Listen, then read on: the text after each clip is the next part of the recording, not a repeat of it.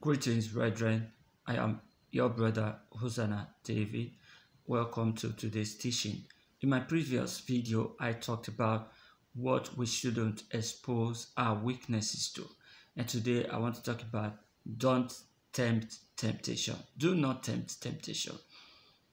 I know that God is always with us, but we must not open our eyes to go and wake up sleeping dogs.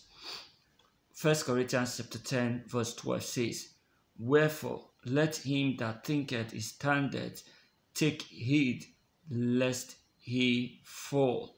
Some of us have overconfidence and we get deceived by the level of confidence we have to the point that we open our true eyes and walk ourselves into temptation. In the Lord's Prayer, remember one of the lines is that we pray, lead us not into temptation, but deliver us from evil. We ask the Lord to deliver us from evil. We ask Him not to lead us into temptation so, why should we lead ourselves into temptation intentionally? Some of us, we expose our weaknesses to temptation. For instance, if you are a born again Christian and you used to have problem with alcohol while you were in the world, even after coming to Christ, after being set free from the addiction addiction grips of alcohol, you still need to stay away from alcohol. It is safer for you to stay away from it. Exposing yourself to alcohol, even though you have overcome it, it will create room for temptation.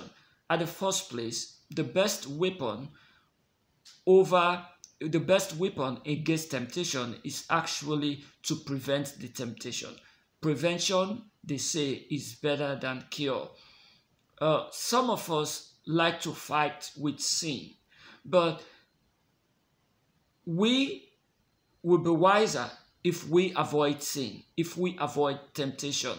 It is good that we set boundaries for ourselves so that we can avoid many of these things that come to tempt us even as in our in our many of these things that tempt us in our work with God. Look at Samson. Samson actually tempted temptation. He knew that these people were his enemies. He decided to go into a city, slept with a prostitute, and he stayed till midnight before he went home.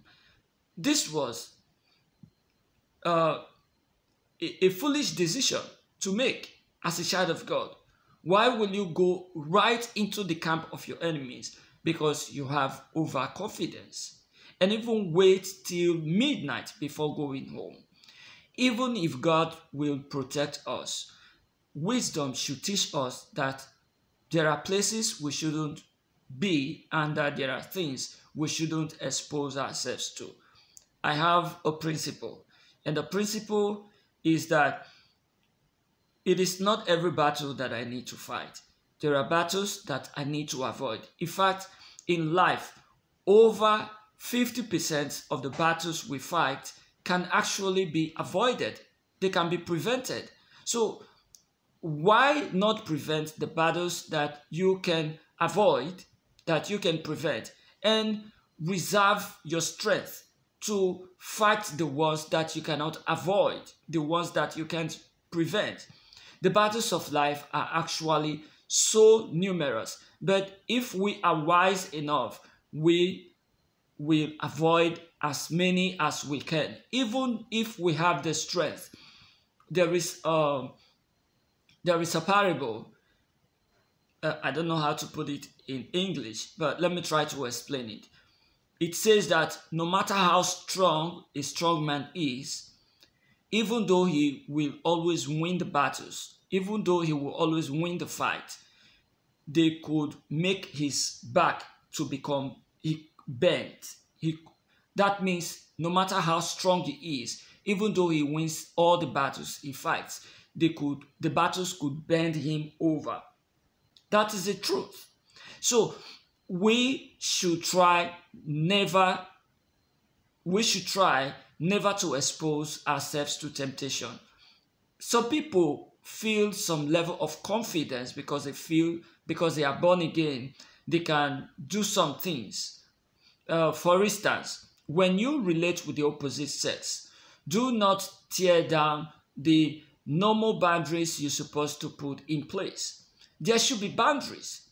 Uh, when I see youths who uh, remove these boundaries because they feel that they have anointing and they could, uh, I mean, grown up adults ask a fellow Christian sister to sit on their laps. This is uh, is ridiculous. That's the truth. You don't expose your flesh to weakness because naturally the flesh is is uh, is weak. Naturally, the flesh longs. What I mean by weak is that the flesh longs for the things of this world.